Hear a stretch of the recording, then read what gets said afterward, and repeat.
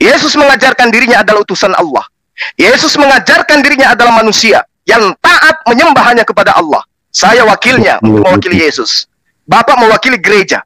Saya mewakili Yesus. Tanya dulu. Kalau tidak, Anda membuat karikatur tentang iman Kristen lalu mengkritisi. Tapi sayangnya Anda mengkritisi pikiran Anda sendiri. Tidak mengkritisi yang dipercaya iman Kristen. Ini kekacauan besar bagi polemikus-polemikus Islam. Ya hadi, ya bashir, ya tabibi. Nabi Allah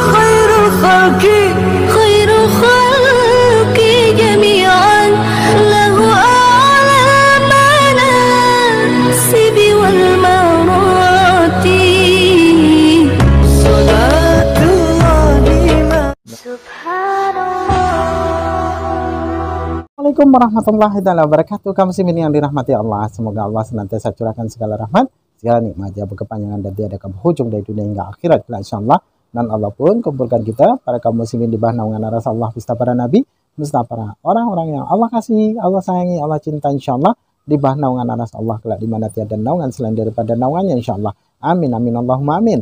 Kaum muslimin pada kesempatan Sore hari ini saya akan mengulas sebuah video di mana video ini mengesahkan tentang perdebatan Islam Kristen ya antara uh, Ustadz Zuma versus pendeta Muriwali ya atau pendeta MYM yang di mana pendeta MYM tidak mampu menjawab apa-apa selain daripada maki-maki kaum muslimin ya. Inilah Uh, jikalau pendetanya saja hanya pandai memaki-maki, lalu bagaimana dengan jemaatnya? Ya, hampir semua umat Kristen dikala berdebat, di, mereka selalu saja memaki-maki. Contoh seperti saya, dimaki-maki mereka kenyang rasanya, karena mereka memang begitu, ya, mulutnya mulut jamban semua, ya, mulut jamban gereja. Makanya ketika mereka menyampaikan segala sesuatu apa yang menjadi argumennya, selalu saja memaki, selalu saja uh, mencaci. Nah, itulah tabiat mereka. Oke, okay, Uh, demikian kaum muslimin videonya. Kemah itu karena kemarin sudah dibahas, ini kan rematch. Oleh sebab itu memang tidak diberikan. Pak, karena kita di pertemuan pertama kemarin itu kan udah banyak hal yang kita putuskan oh. bersama, sehingga saya rasa kita langsung aja kepada topik. Oke, baik. Jadi saya ingatkan kembali bahwa topik atau tema pembahasan di malam hari ini adalah Dwinatur Kristus. Yesus Allah 100% dan manusia 100%. Kesempatan pertama saya berikan kepada Pak Ustadz Suma untuk uh, langsung saja menanggapi ya. Waktu diberikan 5 menit. Waktu akan berjalan setelah Pak Suma mulai berbicara. Dipersilakan. Pak Ustadz. Baik. Bismillahirrahmanirrahim. Assalamualaikum warahmatullahi wabarakatuh. Semangat malam pada kita semua, uh, Bapak MYM dan juga teman saya, Pak Felix.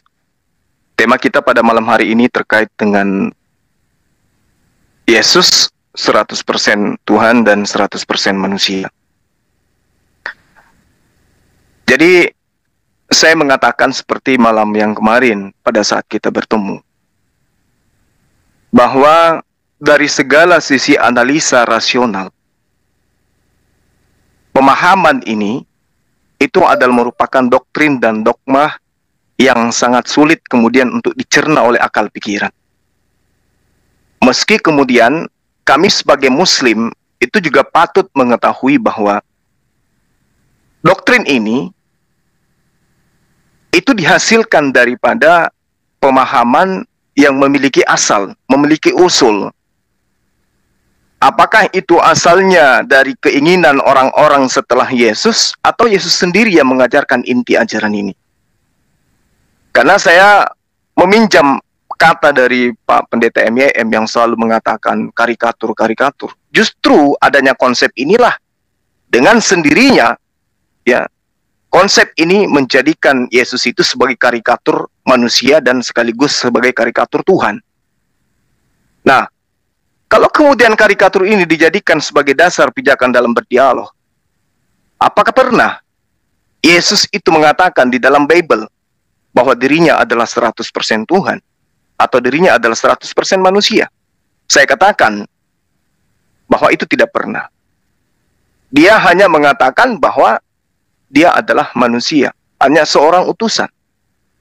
Ke mana pun arahnya kemudian karikatur itu ditujukan ke konsili-konsili, itu adalah arena dialog, arena debat, arena sesat menyesatkan antar kelompok dan kelompok lain. Sehingga muncul kemudian karikatur yang kita maksud pada malam hari ini.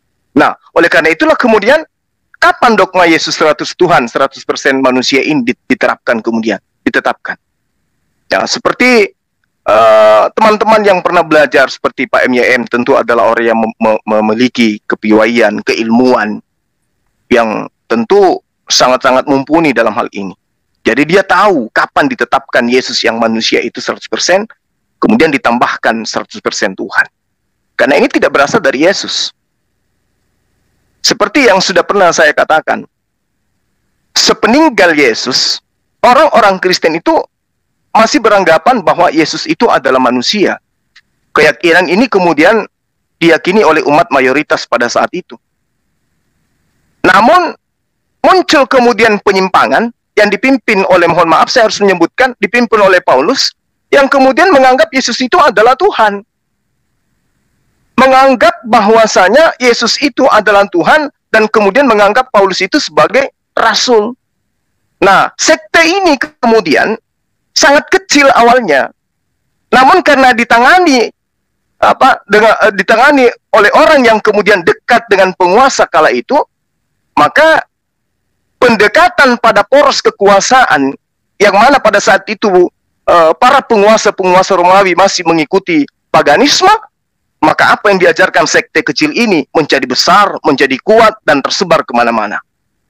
Akhirnya, akhirnya sekte kecil ini yang tadinya minoritas ini mampu mendominasi konsili yang diadakan di uh, tahun 325 dan selanjutnya. Maka kemudian justru kelompok yang tadinya mayoritas yang dipimpin oleh Arius itu dikalahkan. Bahkan mereka diusir dari ruang konsili. Mereka di, mereka dianggap bahwa mereka adalah bidat.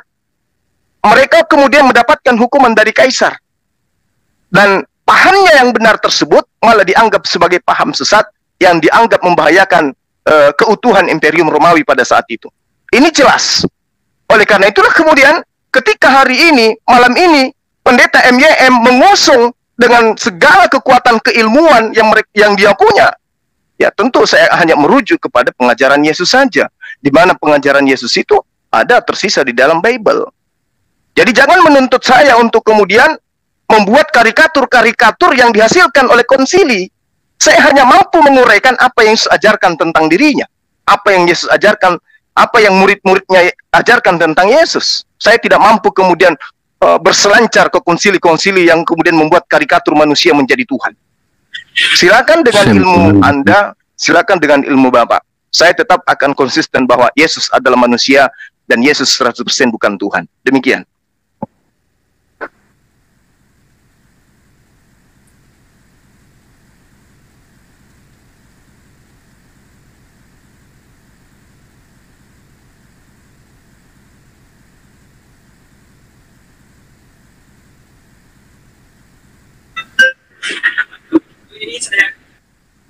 Pak Felix.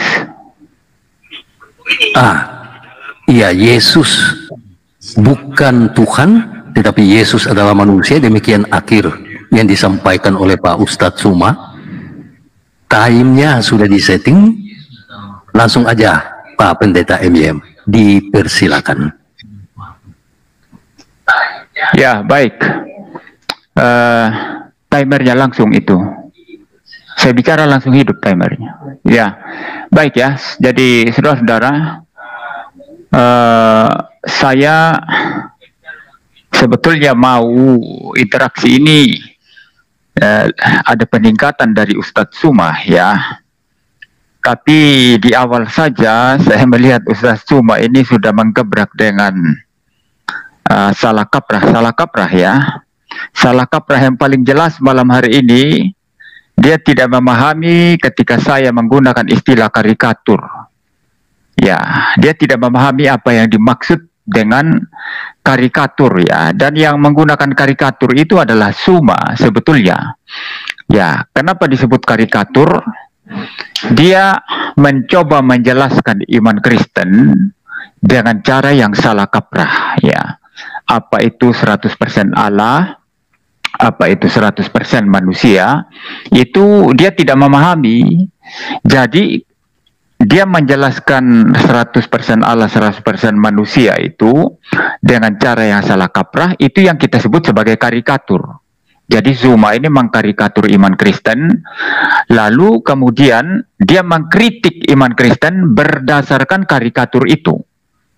Berdasarkan salah pahamnya Zuma itu. Itu yang kita maksud ya Makanya saya bilang, coba jelaskan apa yang dimaksud Kristen itu mengenai Yesus 100% Allah, 100% manusia. Cuma tidak ngerti. Coba sekarang saya tantang sekarang. Ini catat ya moderator ya. Beri saya minta Suma menjelaskan secara ringkas saja dalam eh, satu dua menit atau tiga menit. Jelaskan kepada saya apa yang dimaksud Kristen dengan doktrin Dewi Natur Kristus. 100% Allah, 100% manusia. Dia bisa menjelaskan dengan benar apa enggak? Yang dimaksud Kristen ya, bukan yang dimaksud Suma. Nah, setelah dia memahami apa yang dimaksud Kristen mengenai Dwi Natur Kristus itu 100% Allah, 100% manusia, maka barulah Suma boleh mengkritik berdasarkan pemahaman Kristen itu. Dia mengkritik iman Kristen, nah itu baru benar. Itu baru Suma tidak membuat karikatur. Nah, jangankan memahami ini ya, memahami doktrin Kristen tentang Dewi Natur, Suma malah bicara istilah karikatur yang saya pakai itu dengan cara yang lebih salah kaprah lagi, jadi double salah kaprahnya ini. Dia mulai singgung tadi karikatur yang dibuat itu konsili-konsili katanya, karikatur yang dibuat di dalam eh, apa namanya sidang-sidang itu ya. Yang saya maksud dengan karikatur bukan itu, ya yang saya maksud dengan karikatur itu Suma ini yang membuat karikatur tentang iman Kristen. Misalnya gini Suma, ya Anda dengarkan saya ini. Kalau tidak mengerti yang yang saya maksud dengan karikatur. Kalau saya bilang Islam itu percaya 100% bahwa keselamatan itu anugerah Allah saja, bukan amal jasa. Nah, kalau saya bilang begitu, ini saya mengkarikatur iman iman Islam. Paham tidak? Saya ulang ya, kalau saya bilang Islam itu adalah iman yang percaya bahwa keselamatan itu 100% anugerah Allah, amal baik manusia itu tidak penting sama sekali. Itu yang dikatakan Islam. Nah, kalau saya berbicara seperti itu, saya mengkarikatur iman Islam karena Islam tidak percaya seperti itu. Yang dipercaya Islam itu keselamatan karena amal perbuatan baik. Nah, kamu semua mengkarikatur iman Kristen kamu belum paham iman Kristen tentang doktrin Dewi Natur Kristus, lalu kamu mengkritik. Yang kamu kritik itu apa? Berarti pikiranmu sendiri tentang iman Kristen. Itu yang kita maksud. Makanya saya minta malam hari ini coba jelaskan apa yang dimaksud Kristen tentang doktrin Dewi Natur. Saya tantang Suma, dia paham apa enggak? Kalau tidak paham, berarti Suma tidak tahu apa yang dia kritik.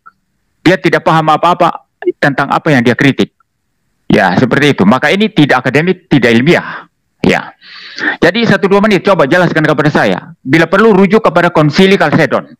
Ya, mengenai Dewi Natur Kristus. Nanti kalau sudah jelas baru dikritisi. Saya akan berikan tanggapan. Ya, lalu masih ada beberapa detik. Yang terakhir sekali, saya perlu katakan bahwa uh, ketika Suma masuk ke dalam Alkitab, menafsir Alkitab, ya, mengat lalu mengatakan bahwa Alkitab tidak pernah mengatakan Yesus adalah Allah, adalah Tuhan begitu ya. Itu kan tafsiran Suma. Itu tafsiran Suma dan orang-orang Islam. Tapi orang Kristen mempunyai tafsiran sendiri. Dan mari kita adu tafsiran kita. Tafsiranmu itu rasional atau tidak? Nah, kita lihat malam hari ini apakah tafsiran saya atau tafsiran Suma yang rasional? Ayo. Baik, waktunya habis. Terima kasih Pak MYM. Ya pemirsa, kedua debater ini masih berkutat pada soal karikatur, tetapi yang ditanyakan atau dimintakan oleh Pak MYM kepada Pak Ustadz Suma adalah tolong jelaskan tentang yang dimaksud orang Kristen tentang Dwi Natur Kristus lalu memberikan tanggapan. Waktu sudah disetting? Ya, Pak Ustadz Suma akan bicara, waktu pun berjalan. Dipersilakan Pak Ustadz.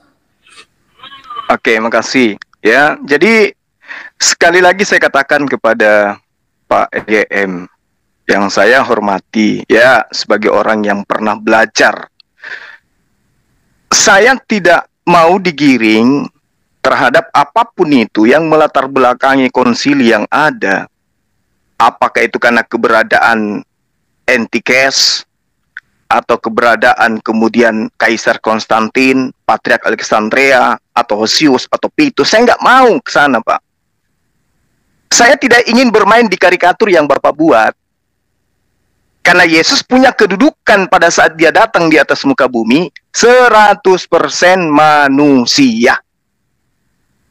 Karikatur yang Anda buat kemudian, dia dua natur.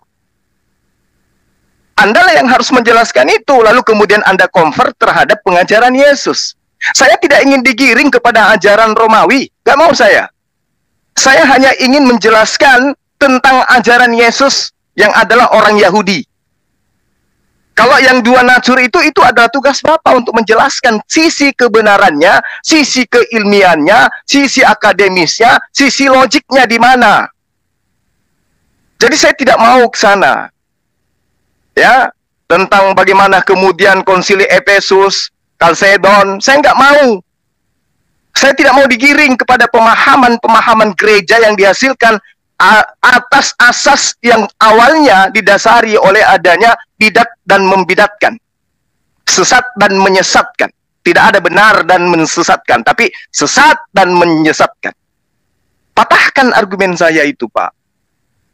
Bahwa konsili melahirkan sebuah uh, stigma pemikiran, ide, gagasan anak Maria itu adalah Tuhan 100%, manusia 100%, saya katakan itu adalah kesesatan yang nyata. Itu yang Anda harus patahkan. Anda nggak usah nguji saya bahwa saya harus tahu apa yang melatar belakangi. Pak, saya baca Bible. Saya baca Bible. Kalau Bapak sudah jauh sekali di atas saya, tinggi menjulang langit keilmuannya, turun Pak, turun. Bapak nggak usah menggiring saya bagaimana kemudian para uskup ya yang diselenggarakan kemudian Kaisar uh, Theodosius II itu pada tahun 431 di konsili Efesus, lalu kemudian 20 tahun setelahnya mengadakan konsili konsili. Saya nggak perlu ke sana, aku bilang. Nggak perlu ke sana. Itu hanya bisa Bapak kaji di dalam meja kuliah bukan di debat lintas agama seperti ini. Lain hal kalau saya dari sekte Kristen yang membantah tentang dua natur Yesus. Tapi saya ini muslim, Pak. Di luar dari keyakinan Bapak yang telah mengatakan dengan jelas bahwa dua natur Yesus itu adalah kesesatan yang nyata. Itu adalah sebuah buah pikiran yang tidak bermakna, yang tidak punya arti sama sekali. Bahkan konyol. Kenapa saya katakan konyol? Yesus 100% manusia dan 100% Tuhan. Yesus mati. Bagaimana mungkin kemudian Yesus yang mengalami mati, dia adalah 100% Tuhan? Patahkan itu. Jelaskan ke saya. Ada orang mati, kemudian dikatakan dia adalah 100% Tuhan. Sementara Tuhan, di dalam kitab yang Anda tenteng, dikatakan dia adalah kekal. Dia selama-lamanya hidup, tidak pernah mengalami kematian. Sementara Yesus mengalami kematian. Daniel 6 nomor 26 misalnya.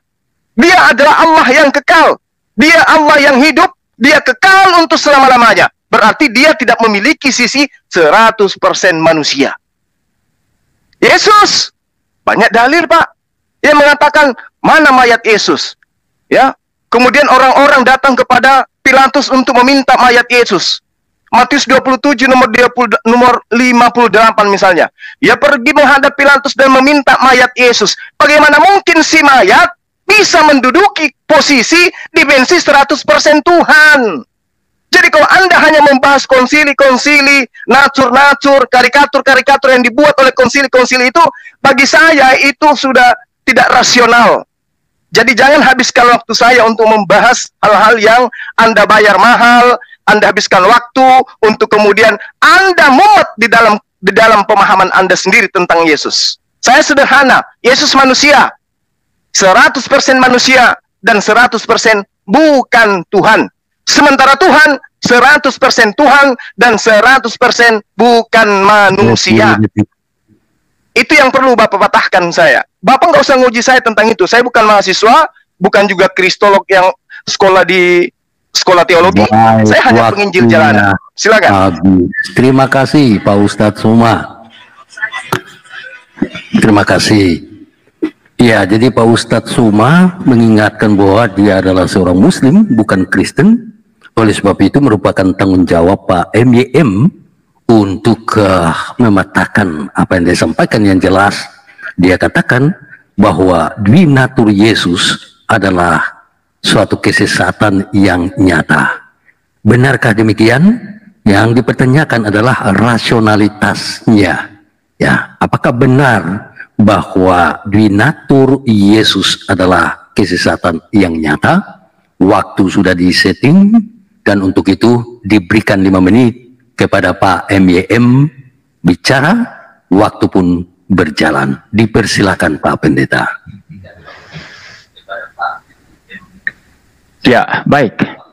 Jadi untuk mengkritisi sesuatu itu kan perlu paham dulu. Itu yang saya maksud. Dan semua tidak paham ini. Ya, dia tidak memahami apa yang saya maksudkan. Anda kalau mengkritisi sesuatu, Anda paham dulu apa yang Anda kritisi. Dan semua tidak memahami apa-apa yang dia kritisi. Asal bicara. Jelas asal bicara ini.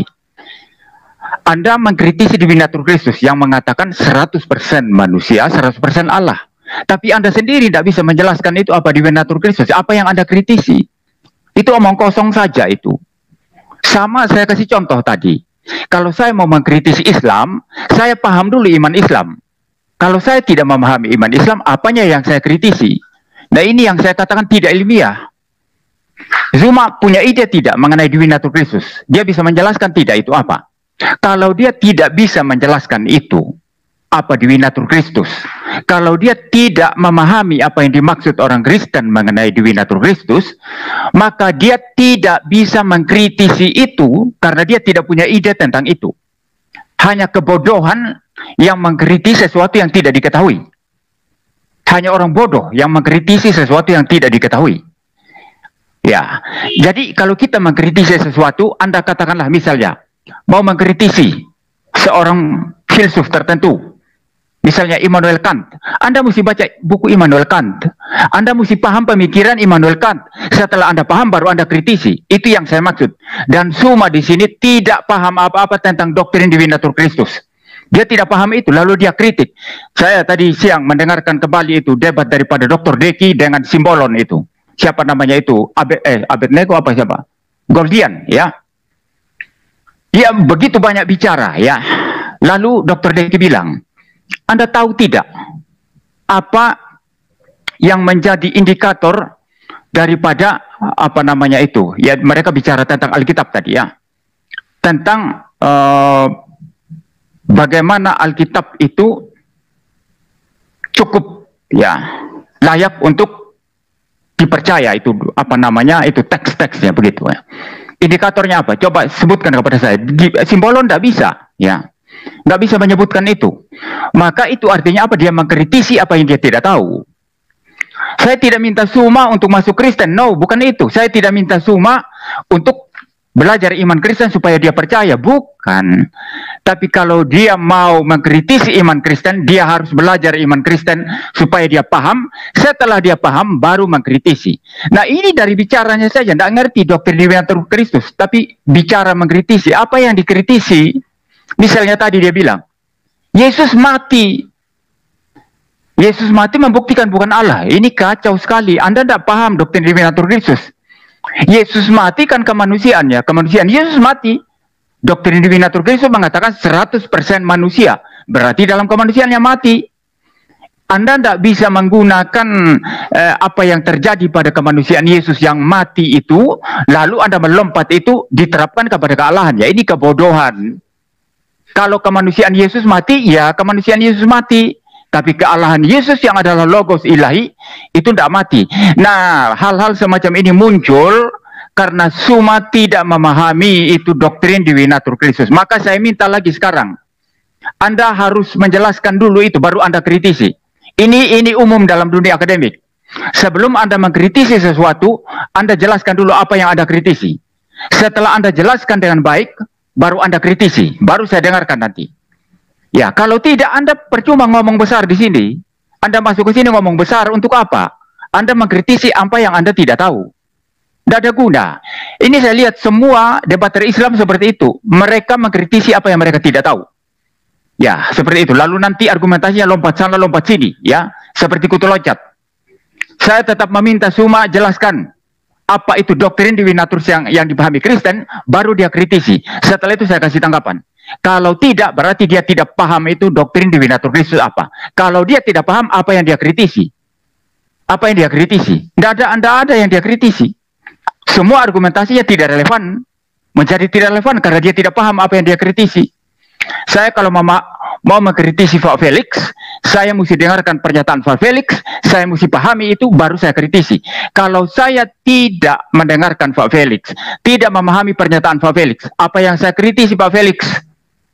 Apa yang saya kritisi? Tidak ada, tidak relevan. Ya.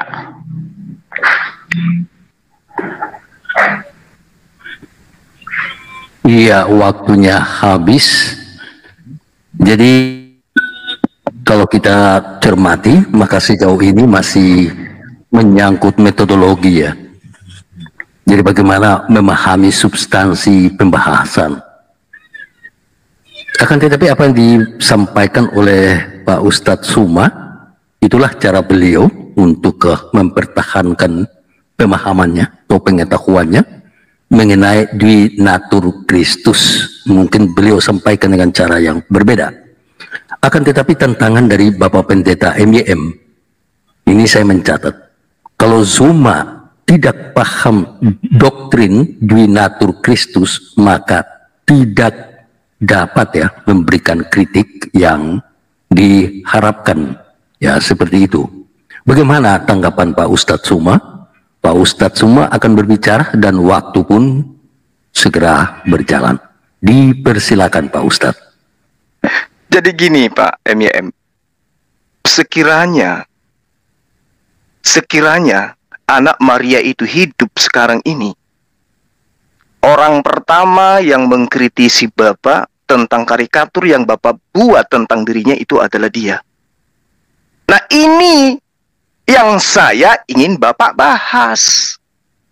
Bukan mal malah meminta saya untuk mengulas mengapa saya mengkritisi. Ini bukan dalam hal mengkritisi atau dikritisin, Pak. Ini dalam ranah Anda menjelaskan, mematahkan argumen saya. Bagaimana mungkin kemudian manusia 100% bisa menjadi Tuhan 100%? Kalau menurut Anda itu salah, tapi pada faktanya apa yang Anda apa yang Anda ucapkan tadi selama lima menit? Kematiannya karena dia adalah manusia. Tapi sebagai logos ilahi, dia tidak mati. Ini kan sudah masuk dalam narasi yang saya bangun. Yang mati adalah manusia.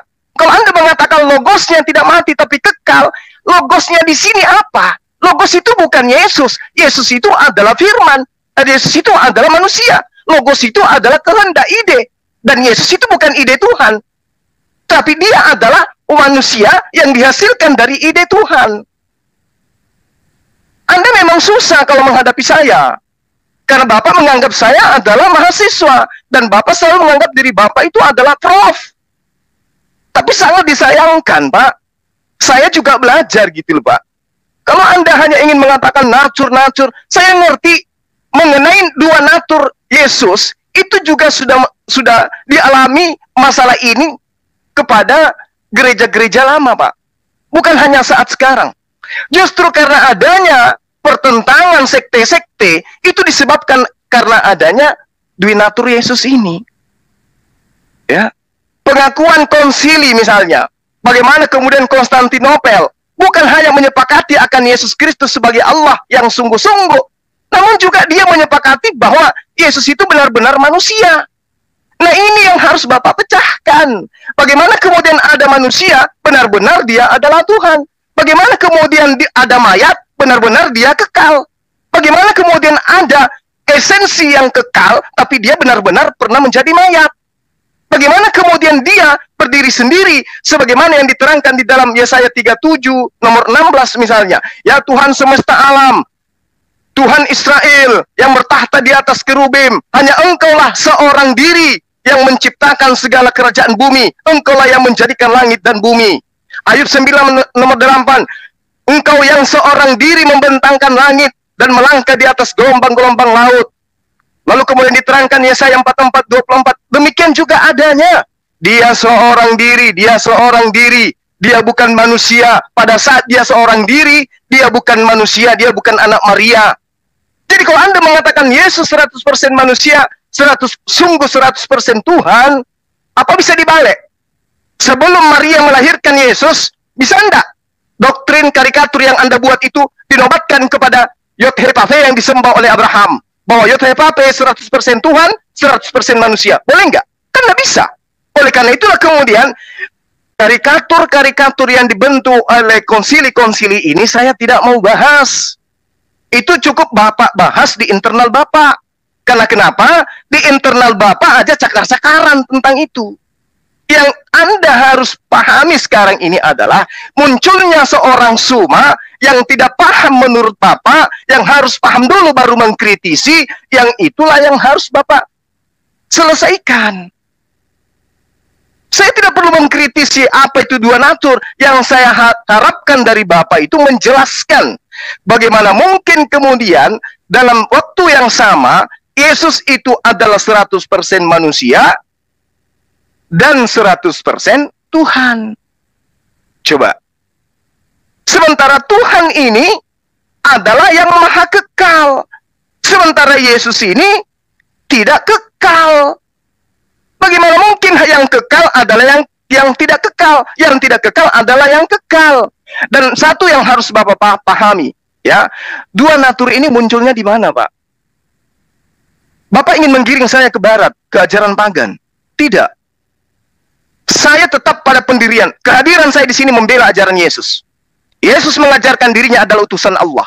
Yesus mengajarkan dirinya adalah manusia yang taat menyembah hanya kepada Allah. Saya wakilnya mewakili Yesus. Bapak mewakili gereja. Saya mewakili Yesus. Sekarang patahkan argumen saya bahwa tidak mungkin kemudian Yesus yang manusia itu adalah 100% Tuhan. Silakan. Suma mengatakan bahwa dia mewakili Yesus. Ada beberapa poin yang saya catat. Yang pertama, adanya pertentangan dalam konsili-konsili yang dilakukan oleh karena problem dwi natur itu. Ya misalnya saya sebutkan saja konsili Nicea dan konsili Efesus misalnya. Uh, beliau juga mengemukakan beberapa ya argumentasi biblikal yang pada intinya menegaskan bahwa Yesus itu manusia. Lalu pertanyaan dan tantangan dari Ustadz Suma adalah mana mungkin manusia 100% lalu menjadi Tuhan 100% pada waktu yang bersamaan. Saya pikir ini soal epistemologi, epistem bagaimana memahami hal ini, bagaimana pemahaman itu benar. Kalau dikatakan benar, bagaimana argumentasinya bahwa itu benar? Ya, waktu di sudah disetting kembali, Bapak MYM akan memberikan tanggapan, waktu pun berjalan. Dipersilakan Pak Pendeta. Ya, Pak Moderator, saya pakai waktu sedikit ya. Sekarang Suma tadi mengatakan itu uh, karikatur yang ada buat, karikatur yang itu gereja-gereja buat mengenai Kristus Yesus katanya begitu ya. Sekarang saya minta Suma jelaskan karikatur itu apa. Saya bicara di sini aja, nanti saya lanjut lagi. Saya minta Suma jelaskan karikatur yang saya buat seperti apa. Jelaskan itu. Biar saya beri bantahan. Waktunya dikasih jalan? Waktunya, waktunya, waktunya. Waktunya tidak jalan ini.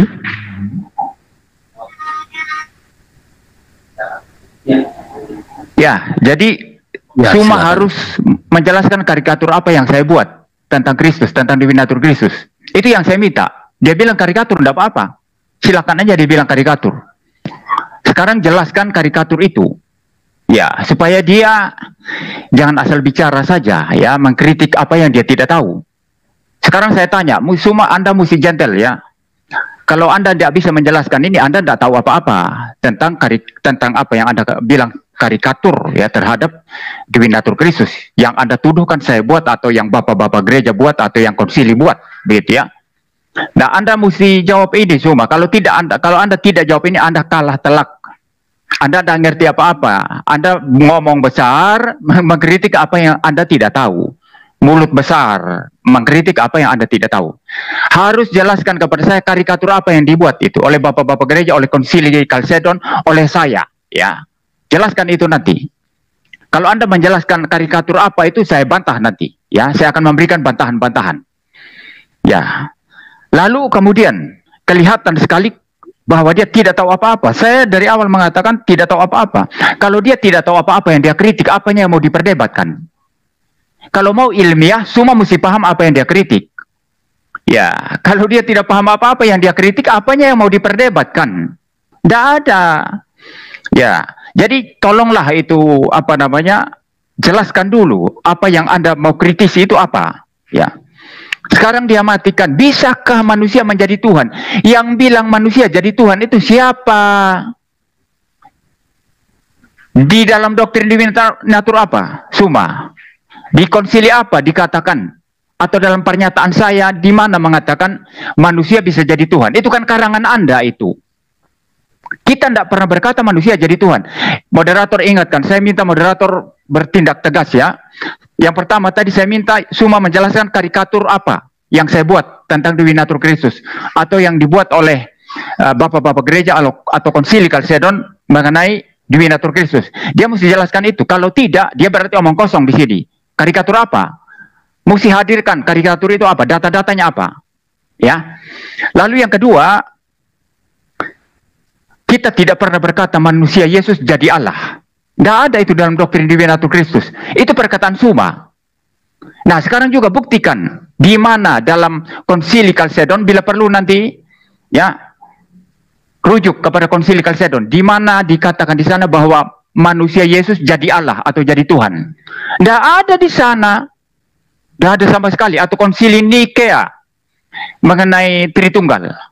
Tidak ada di sana. Itu kan karangan Suma. Maka saya sudah bilang, Suma dan orang-orang Islam ini mengkritisi Kristen dengan karangan mereka sendiri. Kita tidak pernah berkata manusia Yesus jadi Allah. Itu karangan Suma. Kita percaya Yesus itu punya dua natur. Manusia ya manusia. Manusia tidak bisa jadi Allah. Allah ya Allah. Tidak bisa jadi manusia. Kealahannya terus dari kekal sampai kekal. Kemanusiaannya ada sejak inkarnasi. Ada dua natur yang berbeda. Yang mati kemanusiaannya, yang apa namanya, yang kekal itu kealahannya. Kita tidak pernah percaya Allah jadi manusia, manusia jadi Allah. Itu kan karangan Suma. Maka tidak nyambung ini. Saya perlu tertawakan argumentasi-argumentasi Suma ini ya. Walaupun besok itu ramai mereka mengatakan Suma menang besar ya silakan sajalah ya. Tapi orang yang ilmiah dan akademik itu akan tahu siapa yang asal bicara yang tidak pakai apa namanya uh, rujukan ilmiah dan akademik yang jelas itu kan jelas nanti. Ya, jadi dua hal ini saya tanya kepada semua karikatur apa? Coba jelaskan dulu. Lalu yang kedua, di mana pernyataan saya atau pernyataan konsili-konsili yang mengatakan manusia Yesus bisa jadi Allah? Ya, di mana? Atau manusia berubah jadi Allah? Atau sebaliknya, Allah berubah jadi manusia? Di mana itu dikatakan? Buktikan, kasih datanya dulu. Kalau tidak, Anda membuat karikatur tentang iman Kristen lalu mengkritisi. Tapi sayangnya Anda mengkritisi pikiran Anda sendiri. Tidak mengkritisi yang dipercaya iman Kristen. Ini kekacauan besar bagi polemikus-polemikus Islam. Ini kekacauan besar. Makanya saya bilang hadirkan Egi Sujana yang jauh lebih ilmiah. Egi Sujana itu hadirkan. Biar dia dia akan gempar-gempar logik-logik ya. Kita lihat. Nah, kalau semua bisa merepresentasikan dan benar Dwi Natur Kristus, malam hari ini saya mau buktikan itu dan uji logika. Dan law of non-contradiction. Dan hukum either or. ya Dan hukum identity. Saya buktikan malam hari ini, tidak apa-apa. Tapi representasikan dan benar dulu. Ya, waktunya sudah habis. Ya, saya ingatkan kepada kedua debater agar supaya fokus pada tema, masuk pada substansi, saling sanggah menyanggah terkait dengan substansi ya. Nah, sejauh ini saya melihat masih soal metodologi. Saya pikir kita harus bergeser masuk pada soal yang substansial, tema yang dibahas ya. Uh, memang yang diminta oleh Pak Pendeta MYM kepada Pak Suma adalah harus jelaskan soal karikatur yang Anda maksudkan. Tentunya Anda sudah menyimak apa yang disampaikan oleh Pak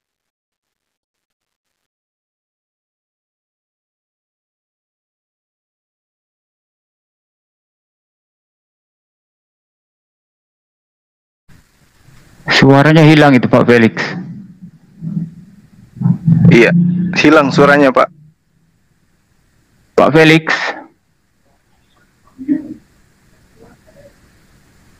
Terlempar kali, kelontar keluar kali. Pak Felix, Nggak ada. suaranya Pak. Tetap ada. Tetap ada dia. Pak Felix. Ada kan Pak Felix?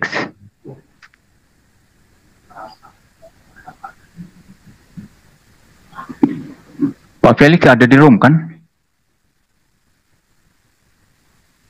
Demikian tadi kaum muslimin ya, yang di mana uh, pendeta MYM ternyata memang tidak tahu isi kitabnya ya. Uh, ketika uh, Ustadz Zuma mengatakan apa menyampaikan tentang bagaimana uh, Salomo ya uh, ketika langit di uh, sebelum langit itu dibentuk sebelum langit itu digariskan Salomo sudah ada di sana. Dan uh, seperti Yeremia pun demikian ya. Tapi untuk uh, pendeta MYM itu malah mengatakan bahasanya itu tidak ada gitu ya. Dan ini sesi uh, sesi pertama. Nanti akan ada sesi kedua sesi ketiga karena video ini sangat panjang sekali maka saya bagi tiga. Dan inilah uh, perilaku orang-orang kafir yang di mana hanya pandai memaki di saat terpojok tidak dapat menjawab dari apa yang menjadi pertanyaan umat muslim di saat berdebat kan begitu. Oke demikian saja kaum muslimin yang dapat saya sampaikan. Saya Irif Desani. Wassalamualaikum warahmatullahi taala wabarakatuh يا هدي يا بشير يا الطبيب نبي خير الخلق